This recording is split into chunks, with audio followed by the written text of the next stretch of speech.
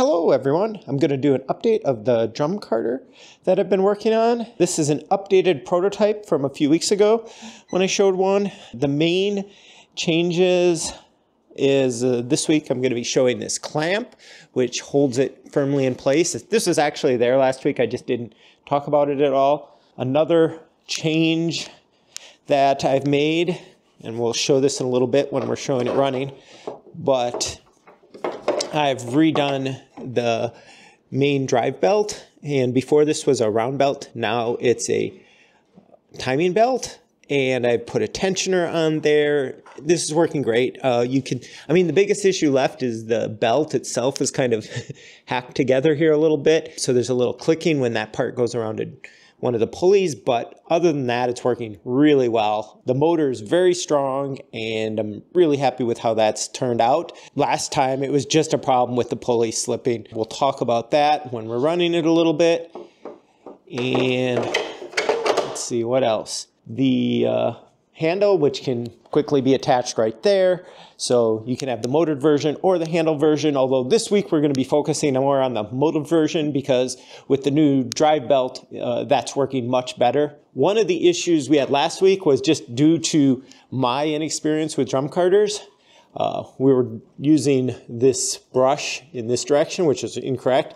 We should have been combing in this direction and it will be done that way in the future and I'll make sure I have guides about how to best use a drum carder when I get it out there just like I do with e-spinners. I think that in good instructions is a very important part of these fiber tools.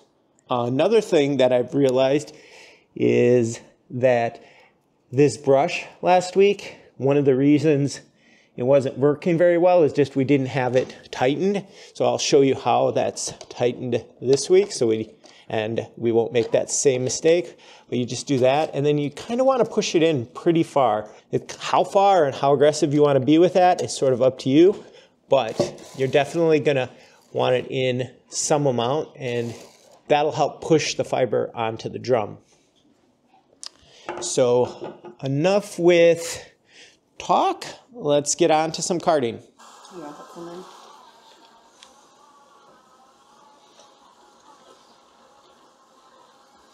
Papa, you know what you should do? You should um get something to hold the brush for you that slowly goes back and forth. But that would be really hard. Okay, you need this one?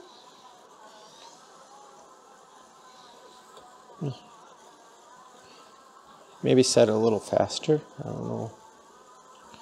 Because it will have more power if you have it faster. Let it go. I'm probably going to make it go only slower in the future. I think I'm going to get a gearbox reduction. Will that just make it stronger and uh,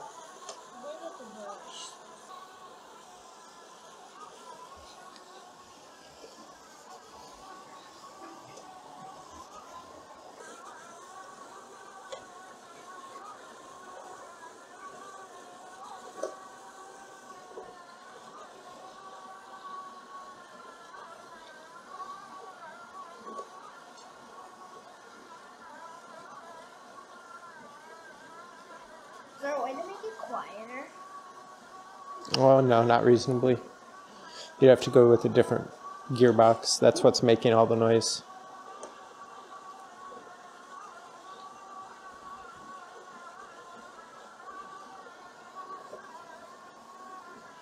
cat scan? Okay,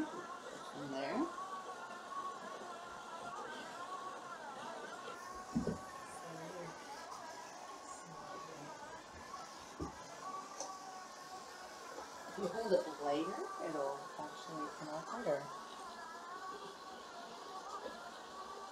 Is it that you- And it has a lot more power here. I can slow it down with my hand, but it's actually quite difficult to try to even stop it. So, much happier with how this drive belt is working Why would it matter what way you go? Because it grips that way. So, when you have it that way, the bristles are just less likely to grab. Can you make it so the is up? But there we go.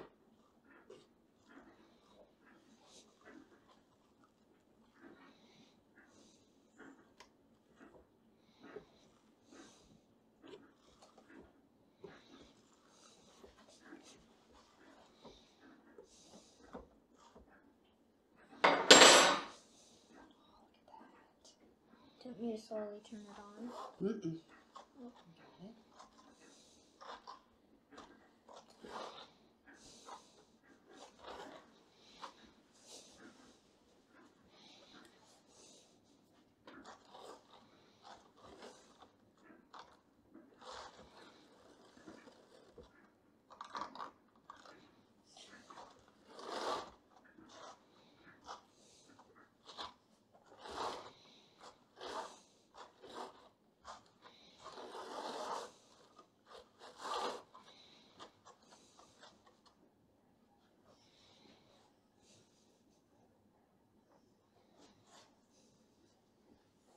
Dun, dun, dun.